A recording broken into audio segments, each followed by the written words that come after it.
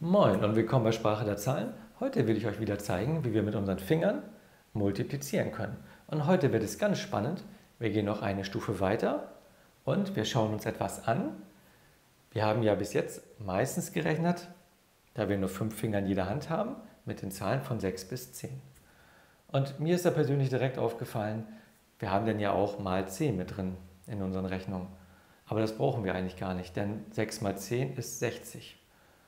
Das weiß ich, da muss ich gar nichts irgendwie rechnen. Warum nehmen wir nicht die Finger von 5 bis 9? Und das machen wir jetzt. Und als Vergleich rechnen wir dieselbe Aufgabe, 6 mal 7, mit beiden Systemen. Und dann wird euch auffallen, der Unterschied ist eigentlich ganz klein. Wir rechnen jetzt im Zahlensystem 6 bis 10. Wir führen die Finger zusammen. Das heißt, wir zählen unten jetzt alle Finger, einschließlich derer, die sich berühren. Das sind 1, 2, 3, Wertigkeit 10. 3 mal 10 ist 30. Oben haben wir noch über 1, 2, 3, 4 und 1, 2, 3 zusammen multipliziert. 4 mal 3 ist eine 12. Das Ganze jetzt zusammen addiert. 30 plus 12 ist 42. 6 mal 7 ist 42. Und wie schaut das jetzt aus, wenn wir die Finger von 5 bis 9 nummerieren? Wir führen die Finger jetzt zusammen und wir zählen jetzt nicht die Finger einschließlich derer, die sich berühren, sondern alle darunter. Das sind dann 1, 2, 3. Die haben wieder die Wertigkeit 10. 3 mal 10 ist 30. Oben zählen wir jetzt die Finger einschließlich derer, die sich berühren. Denn die haben wir unten noch nicht benutzt. Einmal benutzen müssen wir sie. Da haben wir dann 1, 2, 3, 4 und 1, 2, 3. Multipliziert, 4 mal 3 ergibt eine 12. Das Ganze noch zusammen addiert, 30 plus 12 ergibt eine 42.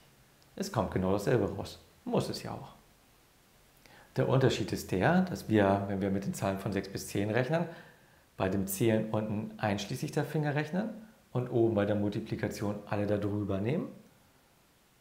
Und wenn wir mit dem Zahlensystem von 5 bis 9 rechnen, ist es so, dass wir bei den Zählen der Finger alle unterhalb der Finger nehmen, die sich die berühren und wenn wir multiplizieren, zählen wir die Finger oben einschließlich derer, die sich berühren. Das ist der kleine, aber feine Unterschied, wie wir unser Zahlensystem ändern können von 6 bis 10 oder 5 bis 9. Und geändert habe ich jetzt das Zahlensystem von 5 bis 9, weil wir praktisch unnütze Rechnungen haben von 6 bis 10. Denn 6 mal 10 ist ja bekanntlich 60. Aber wenn wir jetzt im neuen Zahlensystem 5 mal 5 rechnen, hm, hm, hm, dann führen wir die Finger zusammen und wir ziehen jetzt alle Finger unterhalb. Das ist kein einziger Finger. 0 mal 10 ist immer noch 0. Und wir haben jetzt oben 5 Finger mal 5 Finger. 5 mal 5 ist 25. Das heißt, wir haben unsere Rechnung von 5 mal 5 geändert auf 5 mal 5. Yeah! Das hat es ja echt gebracht. Aber das ist die einzige Rechnung, die sich nicht vereinfacht. Denn wenn wir jetzt rechnen 5 mal 8, und wir zählen jetzt alle Finger unterhalb der Finger, die sich berühren. Dann haben wir hier 1, 2, 3. 3 mal 10 ist 30. Und dann haben wir hier 1, 2, 3, 4, 5 mal 1, 2. 5 mal 2 ist 10. 30 plus 10 ist 41. Das heißt, die einzige Rechnung, die sich nicht vereinfacht, ist 5 mal 5, denn 5 mal 5 bleibt 5 mal 5. Und das Schöne daran ist, wir haben jetzt ein Zahlensystem von 5 bis 9 das funktioniert natürlich auch mit zweistelligen Zahlen. Nehmen wir einfach ein ganz einfaches Beispiel. 15 mal 16. Dann führen wir die Finger zusammen und wir haben jetzt einen Grundwert. Die Zahl liegt zwischen 10 und 20, also 10 mal 20. Dann haben wir hier unten noch einen Finger. Den multiplizieren wir jetzt mit. Wir rechnen zu 20 hin. Also 1 mal 20 ist 20.